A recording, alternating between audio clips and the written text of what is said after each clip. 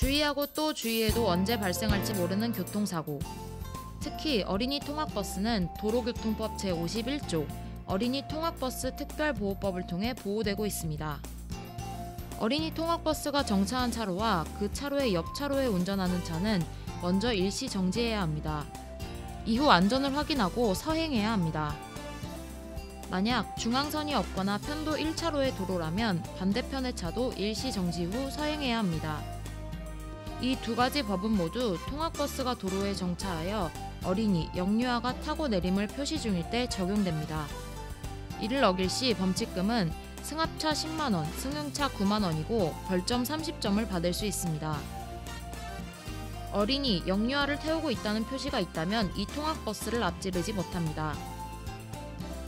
이미 시행되고 있는 법이지만 모르는 운전자들이 많아 잘 지켜지고 있지 않은데요.